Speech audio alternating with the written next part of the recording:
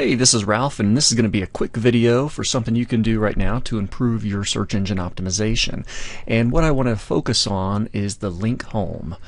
Alright, so I'm at a website here, cyclepub.com, and if I were to click on their home link, the their navigation menu, click on their home button. It's tough to see, but in the lower left corner I can tell where it's going to go. But watch my web address up here when I click on their home link.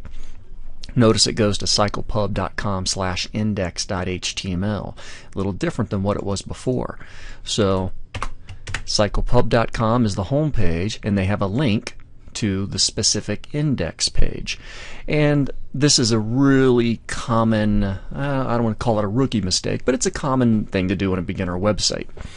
Um, I'm going to view their source code real quick just so we can see this. And let me zoom in and scroll down to where their navigation menu is and it's right down here and here's what's causing the problem basically.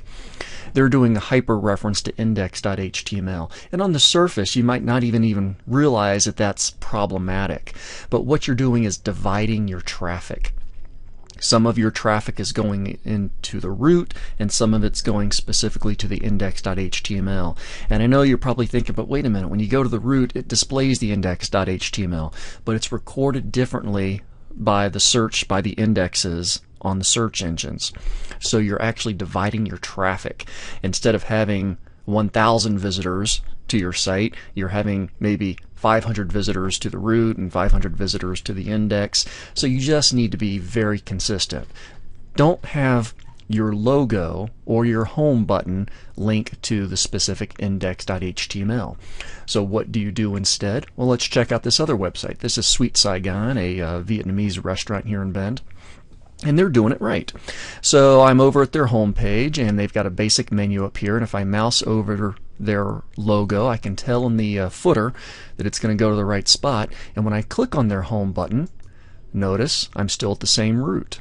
If I go to location they do have a weird path thing going on here but if I go back to home I'm back to the main root. So let's see what they're doing correctly.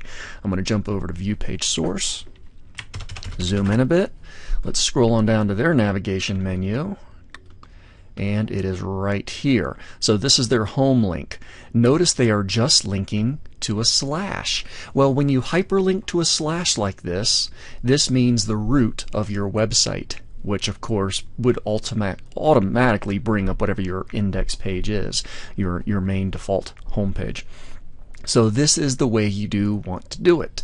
So your home page should link to the slash, not to the specific index.php or index.html or default.html. Link to the slash.